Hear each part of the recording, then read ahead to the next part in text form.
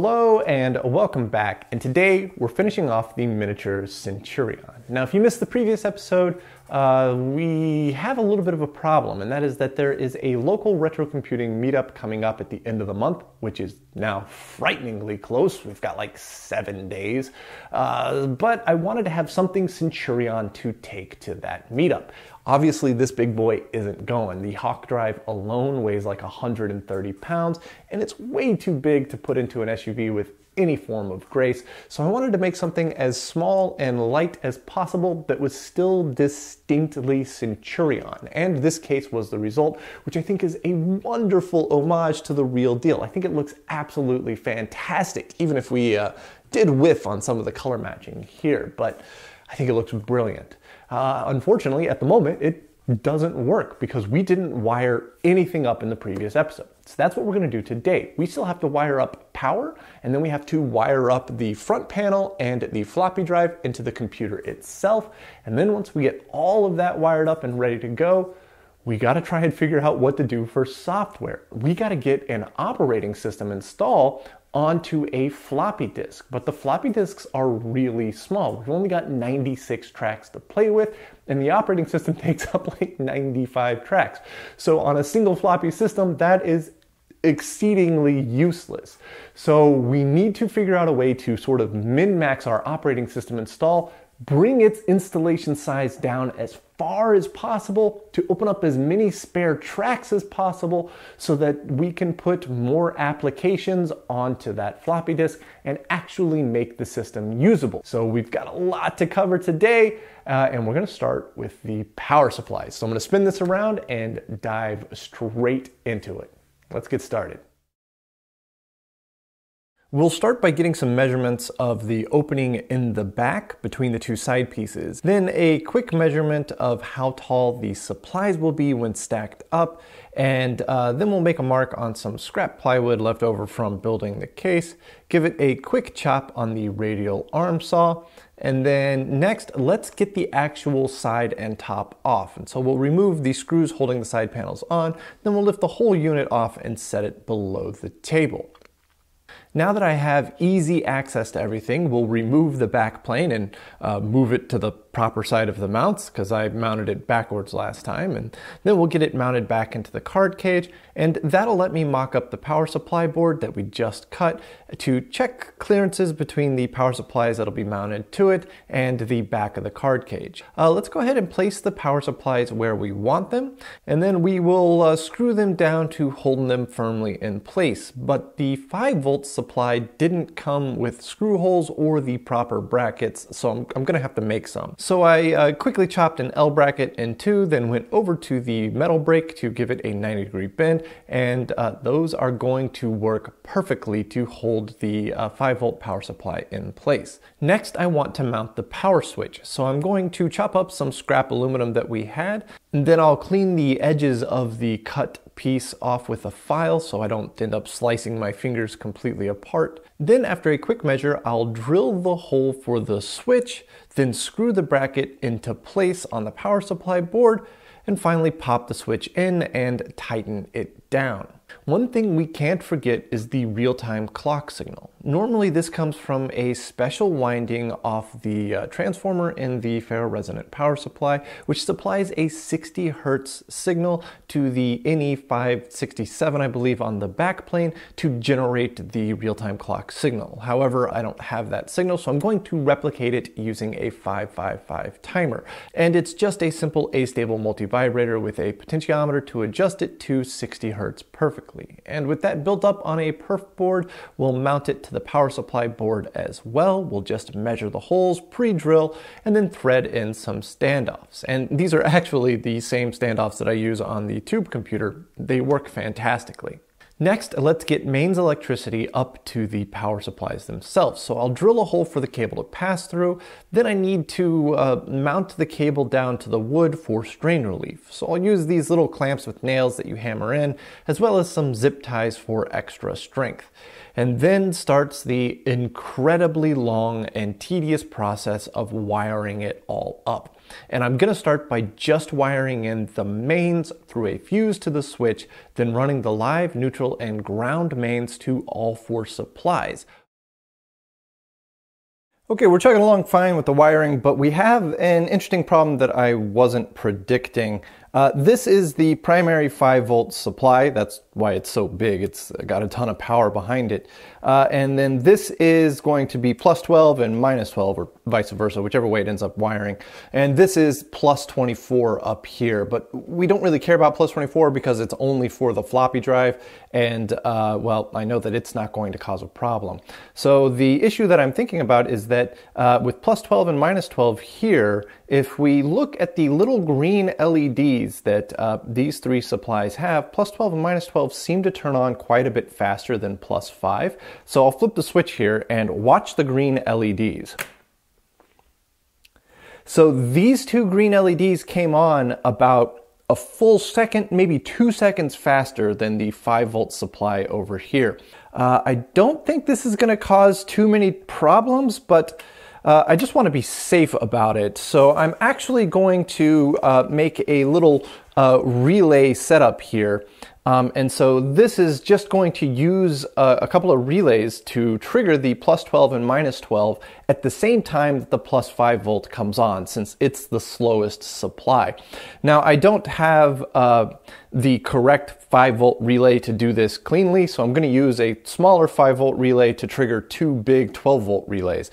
Uh, and that's actually what this little board right here is going to be. I haven't soldered this up yet. I still got to run all the solder wires for it and get it wired up correctly, but uh, that is our next step.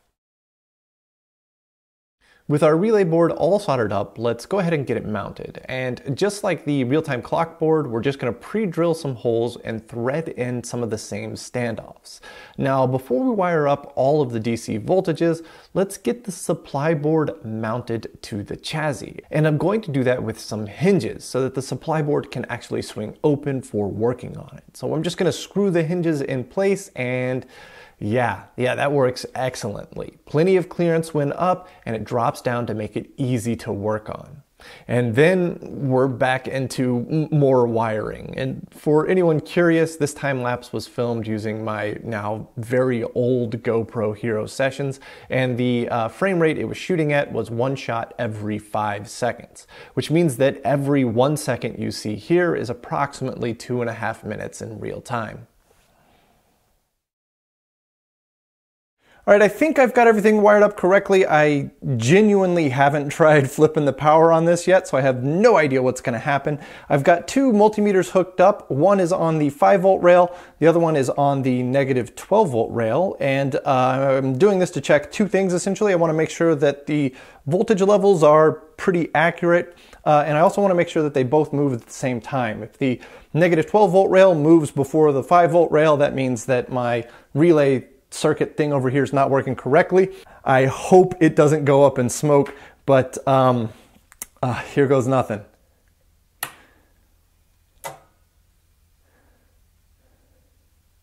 Well, I've got 5 volts, but I don't have uh, negative 12 volts. That's not good. Um, nothing seems like it's going up in smoke, though. All right, simple, simple mistake. I just had the uh, common and the normally closed on this little white relay wired up backwards. Uh, I misunderstood the uh, data sheet. Uh, I've got two multimeters here. This one is hooked up to uh, negative 12. This one's hooked up to positive 12. Uh, so we'll go ahead and flip the switch here.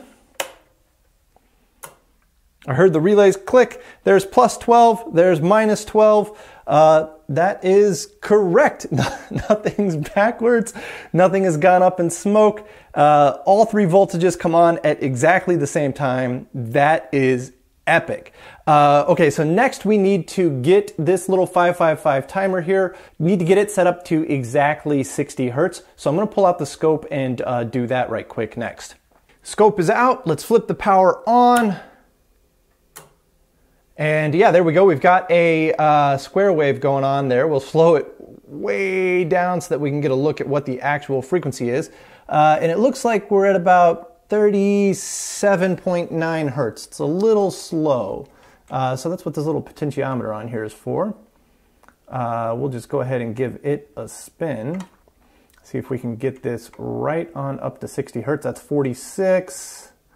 There's 59, 60.9. There we go, 60.26 hertz. That's uh, not perfect, but very, very, very close. It just means that while we're saving files, we're just going to get maybe a couple of seconds of drift per day or something like that. Uh, really, not a huge deal. With the power supply mostly sorted, let's get some cooling going on here. And I'm gonna use two 120 millimeter 12 volt fans. But I need mounting brackets to uh, mount these fans in place. So again, I'm gonna give a little cut on the angle grinder, then I'll clean it up on the bench grinder to remove any sharp edges, and then I'll take it over to the brake and give it a double bend to give it a little kink to more properly align with the fans. And that makes mounting the fans an absolute breeze. Uh, see what I see what I did there? Um, anyways, to wire them up, I'll just crimp the positive wires together, then take the 12 volt directly off of the 12 volt lug on the back plane. For the ground, I actually have to extend it. So I'll solder a wire to the two grounds from the two fans and then connect that wire up to a ground lug on the back plane. And then we'll give it a quick test and excellent. That's gonna move some air across the cards, nice. So next let's get some ribbon cables run, which means it's time to dig into my ribbon cable box. I'll plug the cables into the front panel and I'm gonna make extra sure that I completely block the camera with my back here so you can't see anything. Now next I need some brackets to hold the cables in place. So I'll give them a, a uh, quick chop on the metal brake, and then I'll drill a mounting hole, screw it in place, and then slip the ribbon cables behind the bracket to firmly hold them. And then we'll rinse and repeat that procedure again for a second bracket and the cables are now nicely managed. We'll plug the big one into the back plane and the small one will get plugged into the CPU 6 card. And speaking of cards, I want to use the memory card from the counterfeit machine but it has some serious water damage. And So I'm hoping that we can fix this. So I'll carefully remove all of the corroded chips from the sockets, but some of these are so bad they're coming apart in the socket. That's just truly a ton of corrosion. I've got all the uh, chips around the trouble area out, uh, and really the PCB looks pretty good. It looks like the uh, solder mask did its job and protected the traces underneath, so I was really afraid that there was going to be PCB damage, but I think it's going to be okay. So the concern is now on the uh, sockets here, uh, most notably this socket right here, because uh, that socket is where this chip was, and uh, the corrosion was so bad on it that pin 16 here broke off and is still in the socket. I can actually see it in there. Um, so that socket is gonna have to come out and get replaced. Uh, and hopefully that's the only one. Some of these are pretty gross, but I'm gonna go over this with some alcohol and some deoxit and clean these up as best as I can. Uh, and then we'll clean up all of the remaining 4116s and uh, I have a little DRAM tester here, uh, this guy that I got, um, and it tests 4116s, will let me know if they're good or not.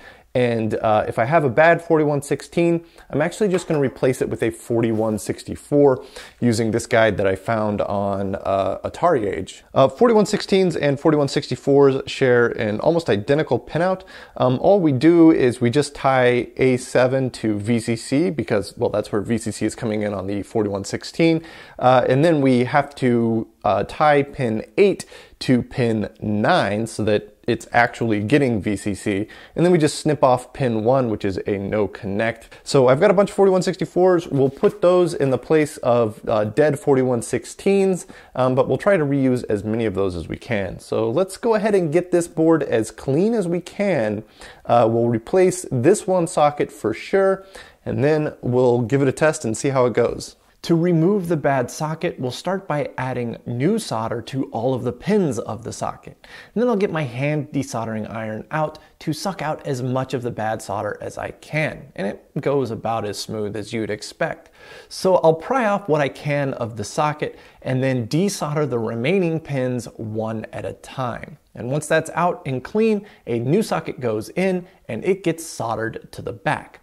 And now we start trying to save some of our 4116 RAM chips. A uh, scrub and a test, and yeah, this one seems like it's still good. Uh, but this one is very much so not good. Just gives us a little red light there. Ultimately, I need about 10 replacements, so it's time to start modifying our 4164 RAM chips. And so we just bend up pin 8, solder it to pin 9 with a jumper wire, then we'll snip pin 1 and drop it into the socket, and uh, there we go. All 10 look pretty good. Uh, now just to slip the memory card into the card cage.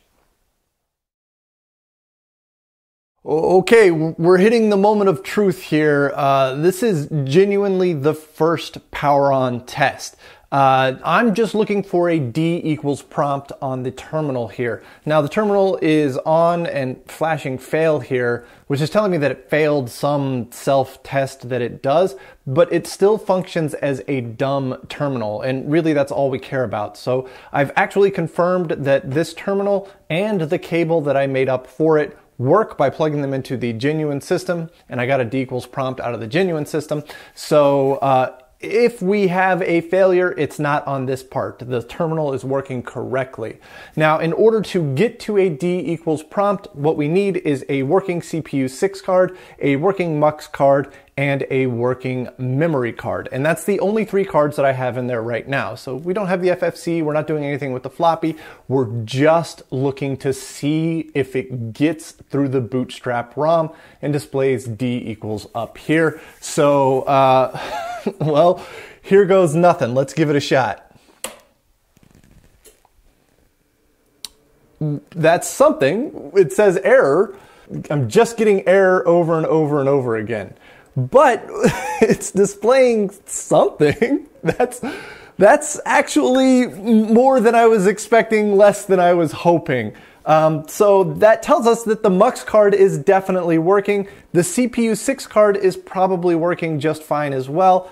Probably it's our uh, memory card here. So I'm going to swap that out with uh, one from the genuine machine and uh, give it another test and see if this error goes away. All right, it was a little more involved than I was expecting. I tried three different memory boards in here. None of them made any difference. Tried different MUX cards in here. They didn't make any difference. I pulled the CPU 6 card out, tested it in the genuine machine. The CPU 6 card seems to work totally fine. I get a D equals prompt out of it. Uh, and so that meant that we were down to just it being either the front panel or the back plane. And the front panel, all the LEDs were lighting up, and it was actually showing an address, which was a random incorrect address, but it was actually showing an address, and the button would reset it. So I was starting to think it's not the front panel. And on the back plane, there's really only one major thing that we got to look at, and that's uh, this little guy right here. This is the Bootstrap ROM. But fortunately, I have a spare Bootstrap ROM that I got from Ken Romain. So I popped it in and uh, check, check it out. We'll flip the power on. There we go. D equals. We got a D equals prompt. uh, now it's uh, not all fun and games just yet because uh, I think we should get error or something whenever I type in a disk to boot from. So if I type H0, uh, it just it just freezes. It just locks up completely. I don't get an error. I don't get anything. It just comes to a, a halt. Um, but I think it's time to plug the diag card in, maybe run a few tests, make sure that things are looking somewhat copacetic, uh, and then let's try to get the floppy and the FFC card into this and to try to get it booting something. I've done a bit of playing around with the Diag card and I think the Mini Centurion system is operating well enough for us to actually make our operating system. Uh, now I'm going to show you guys the problem. I've got the Hawk drive spun up here. So let's take a look at the Hawk uh, directory. That's going to be .dir1 uh, and etsys is a library, a folder, if you will, that contains all of the files for our operating system. So we can see here it says etsys type L for library tracks 64. So the etsys library takes up 64 tracks, right? Well, let's look in the actual etsys library. Uh, so we'll get to the end here and we'll do a .dir uh, etsys.1. We'll hit enter on that And then these are all of the files that are in the etsys library. They all start with et, et and they all have some strange name, OJX or TX or whatever. Uh, and well, there's not really a whole lot that we can glean from that. But when we get to the end is where it gets interesting. We can see it says used tracks 39 6 sectors. If we looked back at the previous one, it said we had 64 tracks. And then we see it says available 24 tracks. And that's because libraries or folders don't really work in the way that we think they do. Each library is like its own self contained disk. And so when you make that library, you set it up to be a certain size. And then you fill it with files up to that size. And so a library can actually get full. It requires a lot of forethought and thinking about how you're going to set up your file system, which is something that I hadn't thought about. Uh, so you have to make a new library that is the size of the stuff you're going to put in it, then you have to put it in it. So it makes sense to oversize the library so you've got a little bit of headroom in there. And that's exactly what they did with the etsys library here. But that means that when we copy etsys over to a floppy, it's going to take up a lot more space than it needs to. So what we need to do when we copy our operating system over to the floppy is make a new library that is exactly the size we need it to be and then fill it with all of the files. And that's incredibly tedious to do by hand, but Rin has been working on a script to make this a lot easier. So Rin, if you're watching, thank you so much. This is going to be a massive time saver. Uh, and in order to make that script, we have to go back to our old friend Compose. But the script is huge. It's like 500 lines long. There's no way I'm going to type all of that into Compose without making a thousand mistakes and just ripping my hair out again. So the trick is going to be connecting up a laptop as a terminal and then just using that to essentially type for us, which is exactly what I have set up over there. Uh, so if I go to s.compose, uh, it's going to start this. We're going to make our file name BLD MinOS. Uh, so we're going to build our minimum operating system. We're not going to put that in any folder. We're going to put that on disk one. It's not found. We will create it, yes. And then our output device is CRT0, and that puts us at the compose prompt. Uh, now to start inserting text, I'm going to hit K and then enter, and we're ready to start typing text. Uh, but I'm not going to type in the script, it's way too long. So I'm going to Alt Tab over to Notepad here. I'm going to hit Control A to select everything. I'm going to copy it, Alt Tab back over to Teraterm. Then I'm going to do Alt V to paste the text.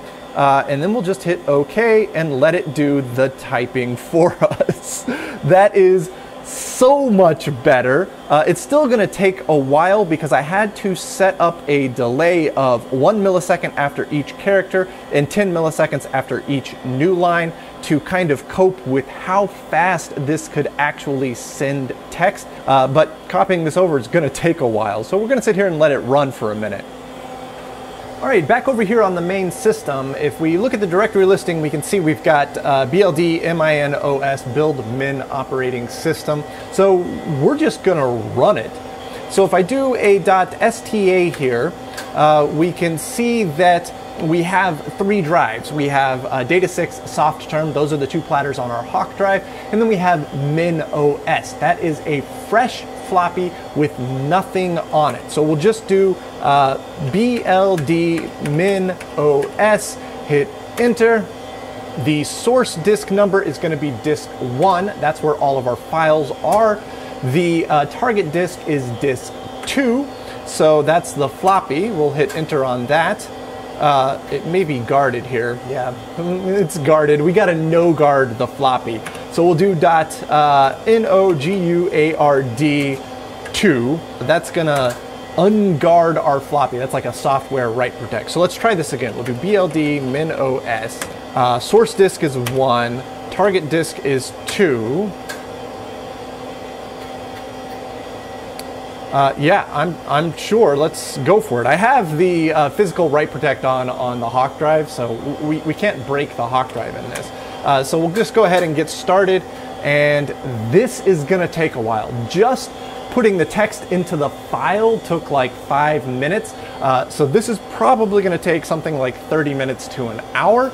So I'm gonna go make a sandwich while I uh, let this run in the background and hopefully my uh, time lapse on the GoPro here catches it all. The copy finished. It took about 45 minutes, I think, which was uh, just enough time for me to get halfway through my lunch before it finished. so the second half of my lunch was just me trying to scarf it down as quick as possible. Uh, now we're sitting here on the status screen. We can see it says MinOS as our floppy. Let's take a look at the directory of that, dir2 here. Uh, it's going to read the directory listing and then show us everything that's in there. We can see that we got all the heavy hitters, etload, etosn, etsys, ps, and question mark, but check it out, used 58 tracks, one sector, available 37 tracks. That is unbelievable. We're using, I don't know, about two thirds of the floppy. So there's still a huge amount of space on here to uh, make new ASCII files or even build new programs because we included the full compiler. Ren, you have done an unbelievable job min-maxing our operating system. And I'm going to go out on a limb here and say that, uh, Ren, you probably know more about the inner workings of the Centurion operating system than anybody alive today. You are in a truly unique position, and I am forever in your debt. Thank you so much for this, because that is epic. Which means that our miniature Centurion with a single floppy in it is actually going to be usable, and people at the event can play around with it and see what's going on. And now it's time to start final assembly by first disassembling the floppy drive.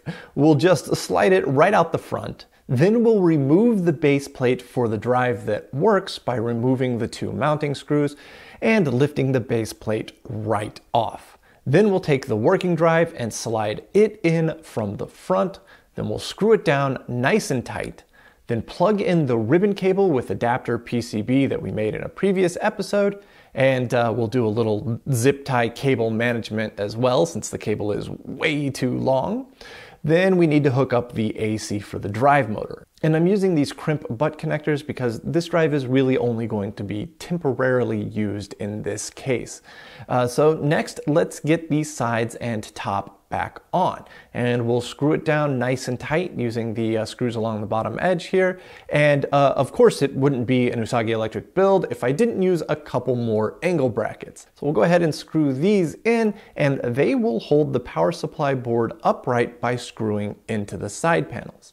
And then finally, we will slide the FFC card into place. Flip the power switch on, pop a floppy into the drive, press the load OPSIS button, type F0 on the terminal, and then we get to wait for about one and a half minutes to get to this screen where we can set the system disk, the uh, current date, which is August 23rd, 1984, and the time. And then we get to wait about another one and a half minutes again to fully get into the operating system. And a uh, quick check to make sure that it's working, and yeah, yeah, that's working excellently. There we have it, fully booted into the operating system out of our custom mini Centurion enclosure here. It is working perfectly, and I think it's going to be a hit at the event, or at least I hope so, because uh, it was an absolute thrash to get it to this point in time for the deadline. If I do my job well, this video will be like a 20 to 25 minute long journey, but for me it was like a five to six day thrash from the time that we left off on the previous episode. So it took a lot of effort, but well, even if it's not a hit at the event, I absolutely love it. I think this thing is fantastic. Uh, although it is not very fast, it's exceptionally slow. And that's because it's only a single floppy system. Uh, and the operating system was not written around the idea of having an incredibly slow drive as their main drive. And the reason that I think the operating system was written that way is that very early on, the uh, first Centurions had core memory. And this was an incredibly small amount of memory. So I think they had to lean on the speed of the Hawk drive to keep the overall system experience quick. But then as the uh, system upgraded and they got up to the 128K that we have in there right now, they didn't really rewrite the entire operating system. So it still leans on the Hawk, Hawk drive a lot more than would normally be expected. And when we replace the Hawk drive with something slow like this, it's leaning on the floppy more than it should. And that brings the whole system down to this kind of slow grinding, meandering, go make some coffee while you wait for it to open your text editor thing. But uh, the important part is that it actually works. And it didn't actually work right off the bat. The uh, memory card that we tried to fix is actually right here. And uh, I ran some diagnostic tests on it with the Diag card and it passed, but uh, every time I tried to do anything more involved than the very rudimentary test, it just immediately crashed. Uh, so we still have some pretty big issues with this. My guess is that some of these sockets down here are just no good, and so we're missing a large chunk of RAM down here. But that's something we can do in the future because for right now, the entire system is actually working perfectly with the memory card from the main system. And in here we have a CPU 6, a MUX, a 128K memory, the FFC, and the Diag card. And uh, all of this is going with me to the event on the 28th. So if you're local to the DFW area and you want to see and play with this thing in person, swing on by the event. I'll put a link down below to the uh, meetup page on it so you can figure out when and where it is. And be sure to RSVP if you want to come because that lets the uh, people who are making the event know how much pizza to order. So, yeah, pizza and a mini Centurion. What's not to love about this event? So, if you are coming, I'll see you there. If not, I hope you stick around for the next episode because we're getting back into some PDP 11 stuff and I'm really excited about that too. So, I want to thank you guys so much for watching and I hope to see you next time.